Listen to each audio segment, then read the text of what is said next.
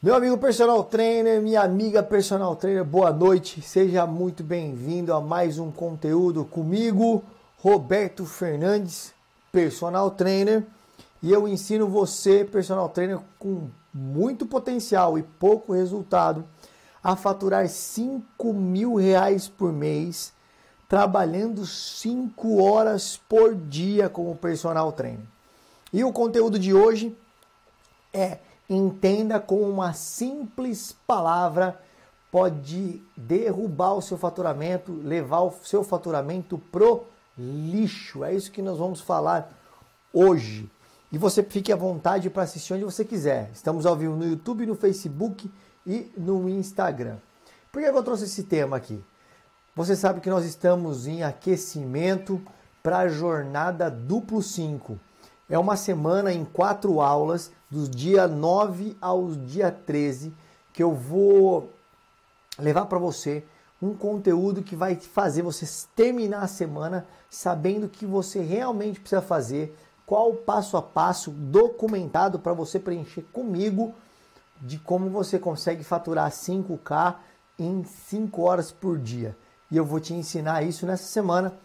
No link da bio ali do Instagram já está o, o link para você fazer a sua inscrição. Então corre lá, faz a sua inscrição para você participar da jornada.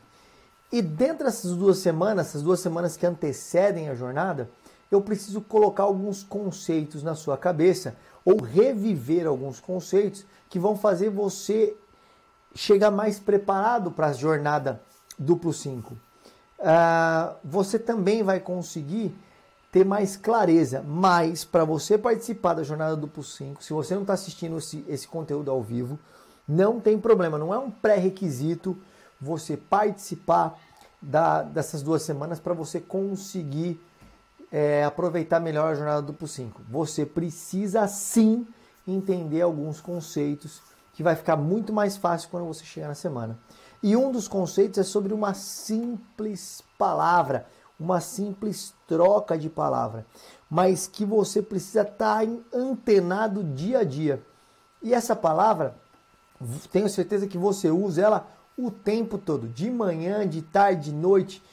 Quando você começa o seu trabalho, quando você termina o seu trabalho, você coloca essa palavra na sua boca. Mas como toda palavra empregada form, da forma errada, no contexto errado, no tempo errado, faz você se dar mal. Então você precisa entender o que existe por trás dessas duas simples palavras para você conseguir se dar bem. Para você conseguir realmente ter um faturamento de 5K durante 5 horas, trabalhando 5 horas do seu dia, você precisa se preparar para isso. Você precisa ter processos, ter caminhos que você consiga organizar melhor a sua rotina para que você consiga ter maximização do seu tempo com a pessoa que você está atendendo. E quando você coloca a pessoa que você está atendendo, você pode chamar ela de duas formas. Ela pode, você pode chamar ela de aluno ou você pode chamar ela de cliente. Exatamente, você pode chamá-la de aluno ou você pode chamá-la de cliente. Essas duas palavras são sinônimos? Elas representam a mesma coisa? Significam a mesma coisa? Você escreve aí no Instagram, no Facebook, no YouTube, que daqui a pouco aparece aqui a mensagem tudo direcionada para o meu, pro meu software que eu uso para transmitir ao vivo nas três plataformas. Mas você coloca aí, aluno cliente é um sinônimo? Significam a mesma coisa? Na sua cabeça, como é que funciona isso? Na minha cabeça, até um certo tempo, funcionava da mesma forma. Aluno é aluno, cliente, cliente, no balaio de gato, como diz minha avó, é tudo igual. E aí eu fui perceber que não é a mesma coisa. E por que, que não é a mesma coisa? Por que, que não fica claro isso para o mundo do personal trainer? Porque a gente tem que entender o que existe por trás desse contexto, desse conceito cliente-aluno. Vou tirar você um pouco do mundo do personal trainer para você conseguir entender melhor o que está acontecendo. para você conseguir captar essa informação que eu estou te dando. Vamos lá. Então, você vai jantar com a sua digníssima pessoa amada. Você vai jantar com o seu amor, aquela pessoa que faz seu coração palpitar, aquela pessoa que você é apaixonado. Você vai até o melhor restaurante que você pode levar a sua pessoa amada e quando chegar lá, você pede uma mesa para se sentar. A partir daquele momento, você é um aluno ou você é um cliente? Você vai falar cliente. Então, a gente consegue perceber que cliente e aluno é a mesma coisa. Mas você vai me falar, ah, mas esse é no contexto de um restaurante, eles estão prestando um serviço para mim. Beleza, vamos tirar então, vamos levar para a escola? Vamos levar para a escola. Se você falou que é tudo a mesma coisa, eu vou te falar, mostrar que não. Vamos levar você para a escola. Você vai para a escola, vai para faculdade, vai fazer sua pós-graduação, vai fazer sua especialização, você vai fazer um curso técnico para melhorar a sua gama de conhecimento. E aí você chega lá na instituição de ensino, ou chegava no mundo online, agora ficou muito mais fácil você fazer um curso com um player muito forte do mercado. E aí você começa, liga sua câmera ou senta lá na carteira e naquele momento você é um cliente ou você é um aluno? Você é um aluno. Então, cliente e aluno não são a mesma palavra, não são sinônimos. E por que não são sinônimos? Porque existem diferenças primordiais três diferenças principais do cliente e do aluno que se você empregar da forma errada, vai jogar o seu faturamento no lixo. Você vai ter esse cliente por três meses apenas, se você não entender o conceito que está por trás das palavras cliente e aluno. Te provei que não é a mesma coisa. Você está em dois lugares diferentes. Num lugar você é cliente, no outro lugar você é aluno. E só no mundo do personal trainer aí é a mesma coisa? Hum? Vou repetir o que eu quis, eu, a minha pergunta para você. Acabei de falar, quando você vai jantar com a sua pessoa amada no melhor restaurante que você pode levar a sua pessoa amada, você é um cliente ou um aluno? Com certeza a maioria respondeu cliente. Quando você vai fazer um curso de pós-graduação, um curso de mestrado, doutorado, especialização, você vai colocar seu conhecimento à prova, vai fazer uma prova, vai fazer uh, buscar material novo para o seu dia a dia. Lá você é um cliente ou você é um aluno? A maioria pode ter respondido, sou um aluno. Perfeito, então cliente e aluno não são iguais. Mas tem muito personal trainer que acha que quando cai na mão dele, Aí é a mesma coisa. Não, cliente, aluno, é tudo a mesma coisa. Balaio de gato. Geralmente, na grande maioria, não estou falando que aí não é verdade.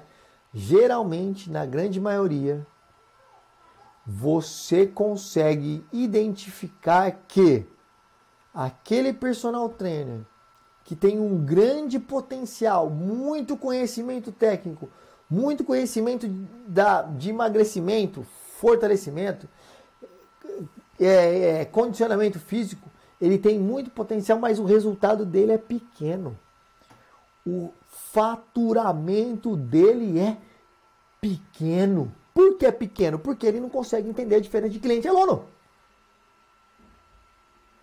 Partir do momento que você conhecer qual é a diferença de cliente, qual a diferença para aluno, você vai dar um salto de qualidade no seu atendimento na sua aula, no seu treinamento, quando você estiver ministrando um treinamento, você vai ser o top, porque você vai entender essas diferenças. E são três diferenças: papel, caneta na mão, para você saber direitinho qual é a diferença de cliente, qual é a diferença de adulto, qual a diferença de cliente para aluno. Vamos lá então? Primeiro ponto, diferente de aluno para cliente. Quando você é um aluno, quem comanda O poder dessa relação é o professor. Vou repetir. Quando você trata aquela pessoa que está na sua frente, aquela pessoa que está dando treinamento, como aluno, aluno, o poder dessa relação, ele e você, o poder dessa relação está na sua mão, na sua mão professor, na sua mão personal trainer. O que eu quero dizer que o poder está na sua mão?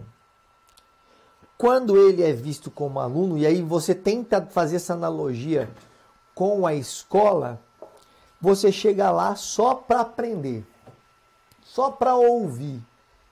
Não é assim na escolinha? Você vai para mais um dia de aula, senta a bunda na carteira. Quem detém o conhecimento ali naquela relação? Quem vai colocar um monte de conteúdo na sua cabeça? O professor. Você tem voz ah, professor, hoje o cronograma é para falar sobre biomecânica. Não quero biomecânica.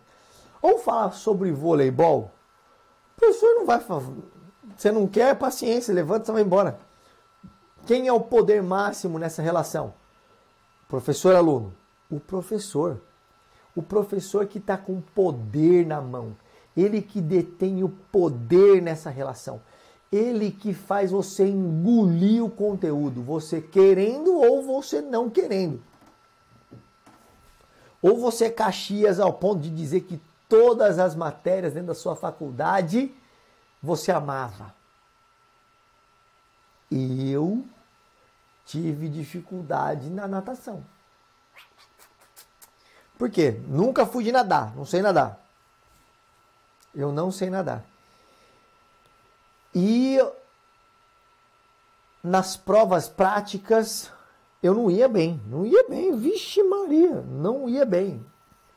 Eu não conseguia atravessar uma piscina de 15 metros sem encostar o pé no chão da piscina. O que, que eu tive que fazer? Ralar para tirar nota teórica, para tentar tirar um pouquinho na prática para sair com média 6. Ponto final. Adiantaria, adiantaria, sou aluno nessa relação. Adiantaria eu chegar para minha professora, carinhosamente chamada de Índia. Se, se eu chegaria e falar assim, ó oh, professora, eu sou bom na natação, não. Você me dá a nota aí. Sou bom, não sei nadar. Para ensinar aqueles pequenos a nadar, eu não preciso ser nadador. Não preciso ser um nadador. Adiantaria eu falar isso? Não adiantaria. Porque ela vai falar o quê? Ema, ema, ema, cada um com seus problemas. Você aprende, vem fazer monitoria, né? Vai para monitoria, senta a bunda nos livros, pratica na piscina de casa, não sei o que vai fazer. Mas você precisa botar a mão na massa para sentir o que seu aluno vai sentir. Ponto final. Ela vai me falar isso. Ela vai me falar isso. O que, que eu fiz? Eu me enralei na prova teórica para tentar passar na, na prática com um pouquinho de nota para passar da média. Infelizmente foi assim. Infelizmente foi assim. Então, nessa relação, quando eu coloco como aluno, o poder está todo na mão do professor. Traz esse mesmo cenário, você, professor, e a pessoa que você vai atender como aluno. Na musculação, ele chega para você e fala: Não estou bem hoje, não estou bem, não estou bem. E você é professor ele é aluno. Se você, nessa relação, sendo professor, o que você fala? Problema seu. Semana mais importante do nosso cronograma, você vem falar para mim que está cansado, que quer ir embora.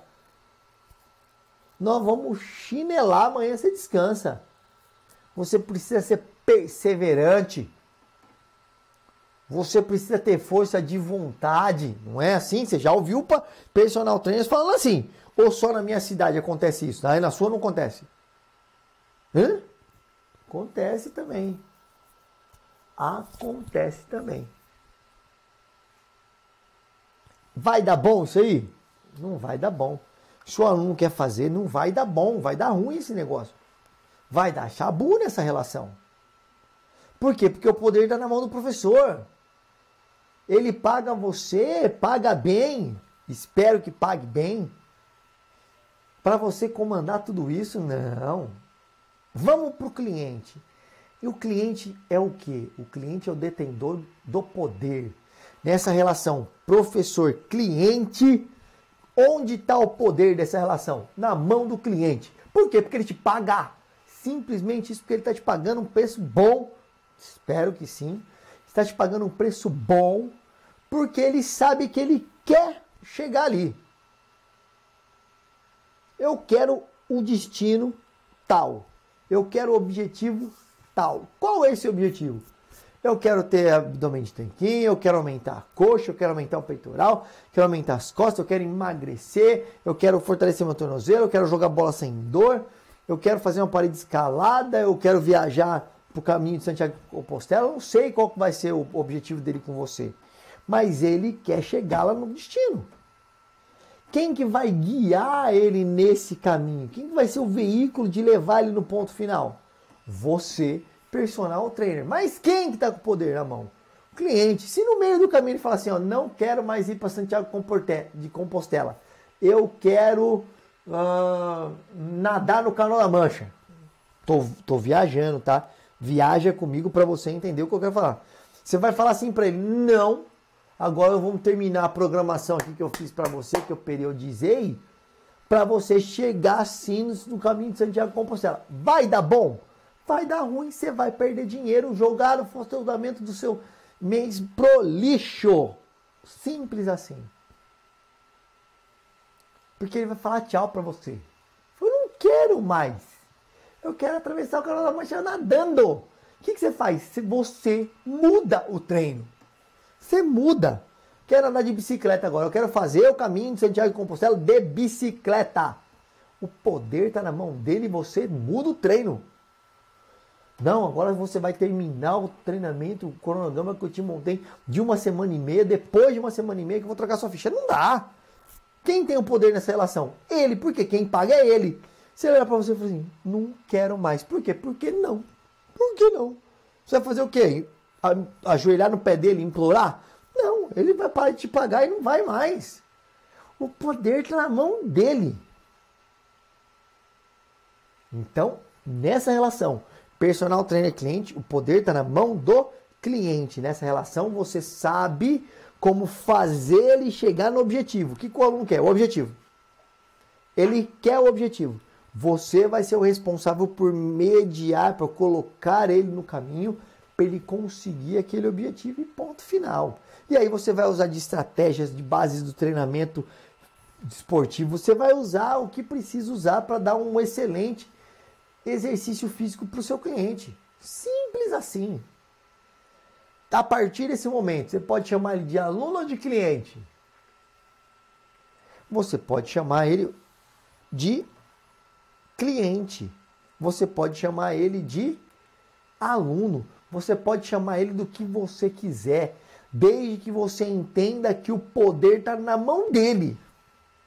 Quem manda nessa relação é ele. Se você entender isso, não tem problema nenhum. Bora para cima. Mas eu falei que ele tinha três características de aluno e cliente. Vamos lá. Aluno. O aluno nessa relação professor-aluno, ele é parcial. Como assim parcial?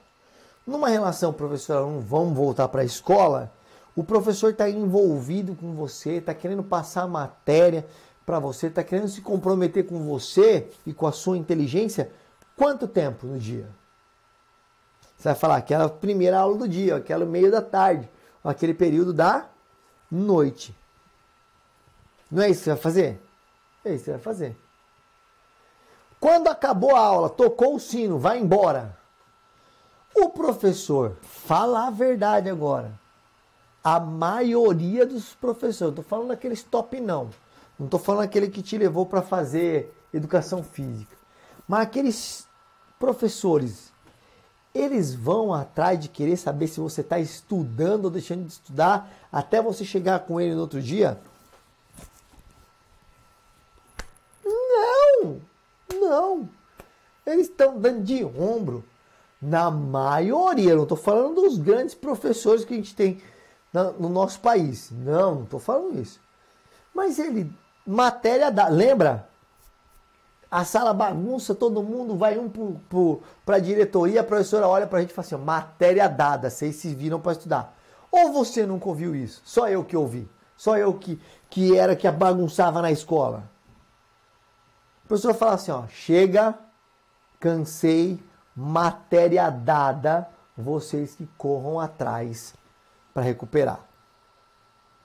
Porque ela é parcial nessa relação. Professor-aluno, o aluno é parcial. O aluno me importa enquanto eu estiver ali, ó, passando aquele conteúdo que eu preciso passar. Se você não anotou, se você não sabe fazer ditado, o problema não é mais da professora, do professor. O problema é seu. Vamos trazer para o nosso mundo agora.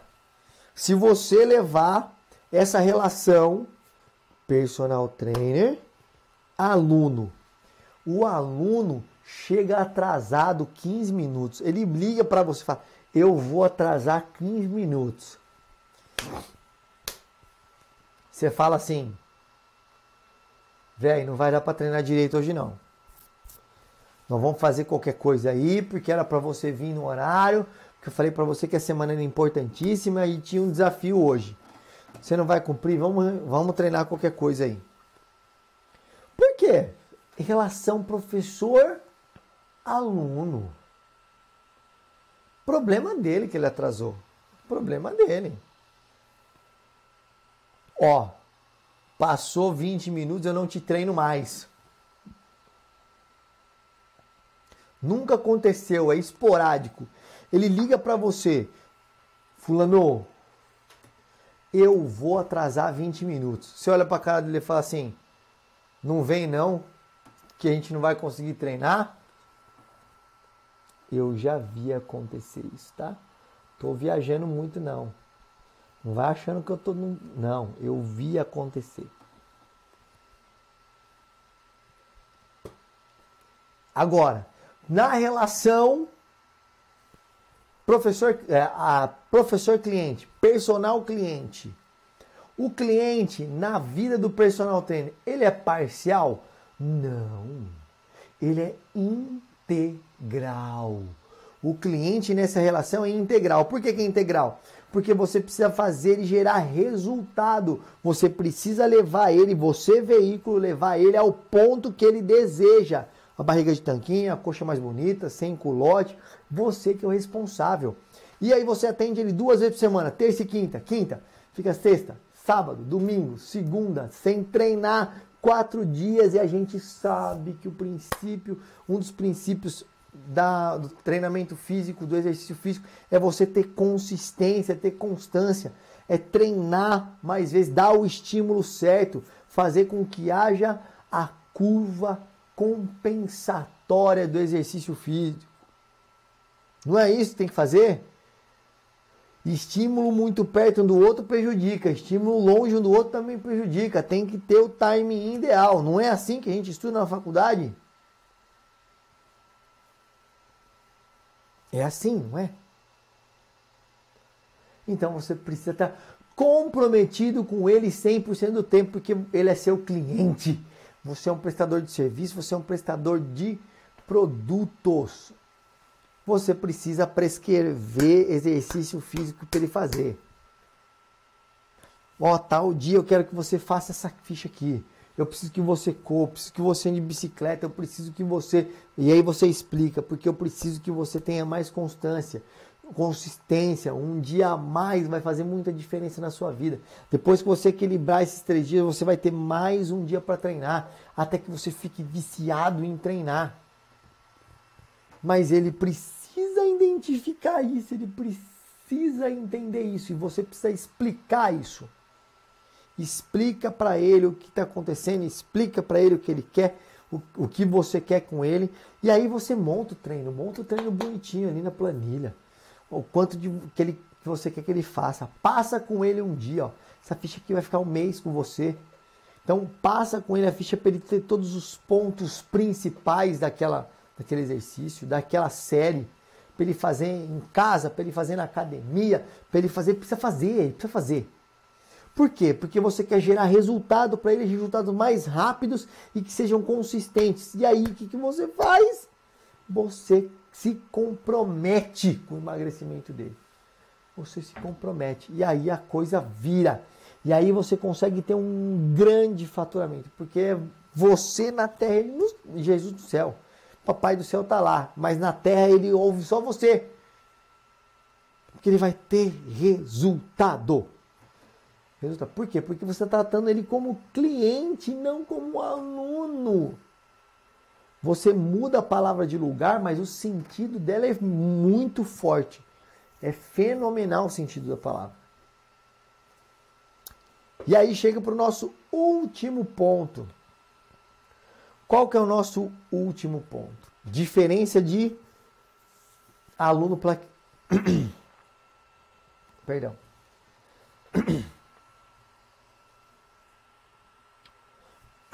Ah, tem que tomar água. Vamos lá. Qual é a diferença de novo? Recapitulando. Primeira diferença: aluno-cliente, o poder na relação professor-aluno, o poder está na mão do professor. Cliente, o poder está na mão do cliente. Na relação professor-aluno, o, o, aluno na vida do professor é parcial. Ele vai ficar com aquele aquele aluno só um determinado período e depois, depois ele se vira até o próximo dia para resolver o problema.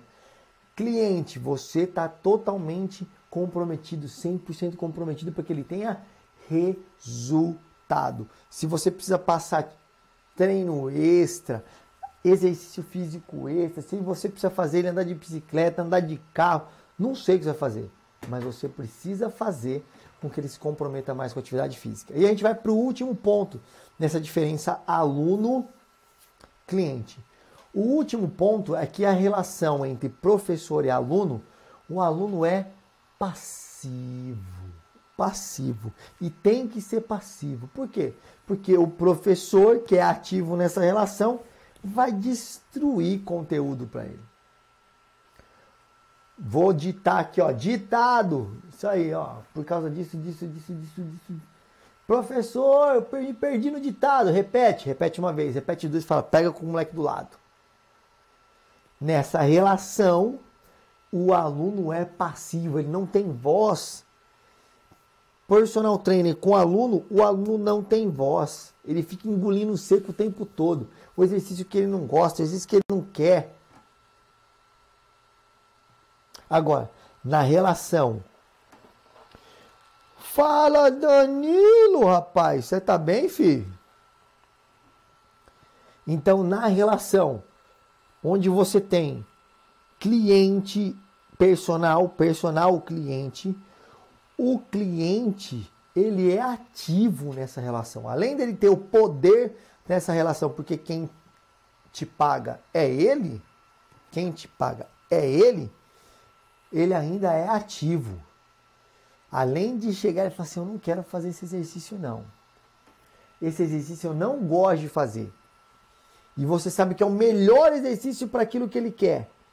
Qual exercício você gosta? Eu gosto, eu amo aquilo ali. O que, que você faz? Só existe aquele exercício no mundo que chega no objetivo que ele quer? Não. Você pode estar pensando mil e outra coisa. Se fosse verdade, você só dava só aquele exercício para ele. Ah, mulherada, mulherada que é louca por glúteo, né? Levantar o glúteo. Você ia dar o quê? Na eletromiografia, o que acontece? Onde o músculo é mais requisitado é no agachamento e no afundo búlgaro. Então você ia passar a vida inteira dando afundo búlgaro, agachamento, afundo búlgaro, agachamento, afundo búlgaro, agachamento, agachamento, afundo búlgaro. Você ia fazer isso a vida inteira. Mas não é. Você tem uma gama, uma variedade de exercícios para que você consiga aquele objetivo. Então, se o aluno não gosta, se o cliente não gosta, arranca. Dá mais vezes aquele exercício que ele gosta e dá menos vezes aquele que ele não gosta. Se você acha que é importante, explica bem para ele. Explica por que, que ele precisa fazer aquele determinado exercício. Ó, essa semana não vai ter jeito, não vai ter escapatória. Essa semana a gente vai fazer esse exercício. Não vai ter jeito, vamos ter que fazer esse exercício. Eu sei que você não gosta, mas eu vou estruturar ele para que lá na sexta-feira você esteja tinindo nesse exercício. Quem sabe até gostando do exercício. Que ele é ativo. Ele vai falar para você o que ele quer. Uma semana ele quer uma coisa, outra semana ele quer outra. Você não vai fazer? Vai fazer. Você está recebendo bem para isso. Por isso que ele te paga. Ele quer a solução do problema. E não o problema inteiro para resolver. Ele quer a solução. Qual é a solução que você me dá? Eu quero isso. Qual a solução que você me dá? E aí você corre atrás. Perfeito? Então, meu amigo personal trainer, minha amiga personal trainer, a gente chega ao final de mais uma live, onde eu coloco para você a diferença de aluno para cliente e como isso pode fazer o seu faturamento ser jogado no lixo ou não. O que você precisa entender agora não tem, é que não tem problema você chamar o seu aluno, o seu cliente, de aluno ou cliente. Você não precisa mudar a nomenclatura. Você precisa mudar o conceito na sua cabeça. O aluno ele é passivo nessa relação, ele é parcial nessa relação e ele tem o poder nessa relação está na mão do professor.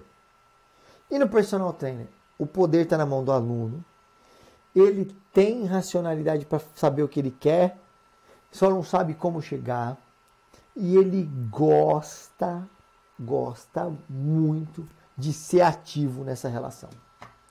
Se você entender isso, não tem problema você falar aluno, não tem problema você falar cliente, mas dentro da sua cabeça, saber a diferença, qual o ponto que você tem que apertar, qual a porta que você tem que apertar, você vai ter um faturamento melhor e vai ser visto como diferente no mercado porque trabalhar assim não é uh, não é menos trabalhoso do que você imagina.